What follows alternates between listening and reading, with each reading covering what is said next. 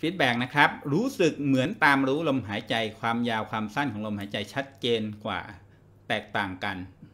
ดีเลยครับ นั่นแหละครับ อันเนี้ย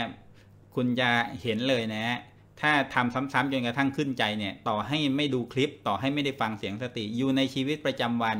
มันก็จะสังเกตเห็นความต่างไปได้ ชัดเจนแล้วก็มีรายละเอียดเพิ่มมากขึ้นเรื่อยๆ ทุกทีนะครับ ในแต่ละวัน